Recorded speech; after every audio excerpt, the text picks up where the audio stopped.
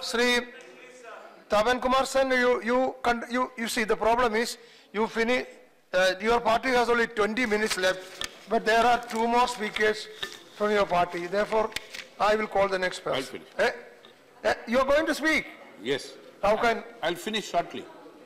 Very briefly. what is the because- meaning of shortly? Because the ma- matter Take- was very old last session.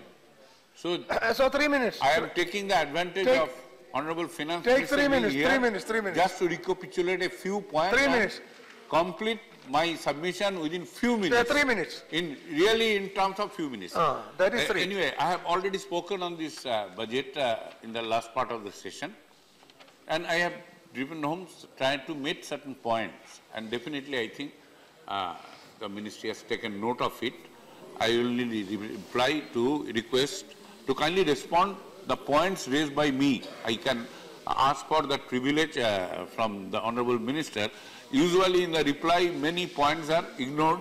Particularly, I like to draw attention just in a bullet form and kindly uh, tell the minister to respond whenever he will be replying to the uh, budget. Number one, that honorable minister, while taking over as finance minister and making a statement in the house, after this new government came, he told that in the given situation, if economy is made through reducing expenditure, that will not lead to, that will lead to further recession and further gloom. So important is to avoid contractionary measure. In terms of budget, this budget is a decline of the size in terms of GDP. Should not the other uh, steps not being taken? My second point, kindly respond. Why year after year, year after year, a huge amount of direct tax are lying unrecovered and you consistently in every budget making the statement in your receipt budget, tax raised but not realized. And in the current year, it, the amount is 6.59 lakh crores. A country, a government constrained by the scam, lack of resources can afford that luxury to continue like this. And even in the current budget, why such anomalous position that you sacrifice 20,000 crore in direct taxes and you targeted to generate 75,000 crore additional revenue through indirect taxes, particularly at a time the overall gloomy situation of the economy, that situation demanded that a burden of indirect tax need to be reduced on the people. Let them have some little more You are not showing the. purchasing power to eh? generate some aggregate demand in the market, which may create a congenial atmosphere for more investment, because investment is always a factor dependent on this return on investment, not on various concessions.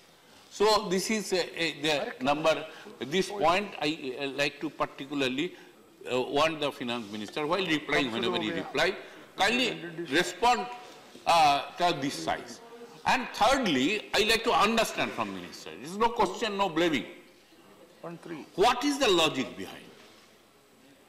Doing away with your plan expenditure and non-plan expenditure. You are now putting the expenditure in the single basket and showing there are some increase in absolute terms.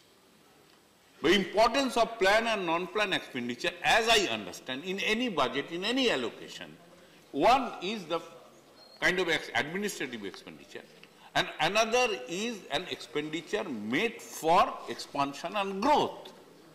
Once you add this together for a layman like us, it is very difficult to make out what is your projection in generating additional value through your budgetary expenditure. So what is the logic behind that and what is happening if you kindly go through in different allocations? In different allocations on different sensitive, people sensitive ministries, you will find that the, say on SCST, in labor, I particularly have gone through that budget, that 88% is an allocation on general account. Only 12% is allocation on SC, ST account on the targeted scheme. And the last point, kindly uh, educate, I I like to be educated by Honorable Finance Minister. After this, there are a number of cesses for labor welfare. We worker cess, mine worker cess, construction worker cess, which is established by an act made by the parliament. What will the future of these cesses? BD worker cesses are continuing still, I know, but I have been told that other cesses have been discontinued. Why so? Particularly a cess made through an act of parliament, say construction workers say. Similarly, the mine workers and others cess. Why the, those have been, I have been told that, that the, these are going to be abolished after 1/4/2016. What is the import of that kind of a decision? Yes, conclude. Particularly when the, these cesses are discovered, Okay. made as an avenue to targeted for the benefit of the targeted beneficiary who are otherwise the most downtrodden section of the working people, but at the same time making huge value for the country's economy, making huge contribution towards GDP. So these are the issues Okay. I think uh, Honorable Minister uh, should clarify, some for educating me and some for real clarification over the whole budgetary exercise. Thank you. Thank you, Mr. Tapan Sen. Sri CM Ramesh. Absent. Sri KTS Tulsi. Absent. Dr. Subhash Chandra. Absent.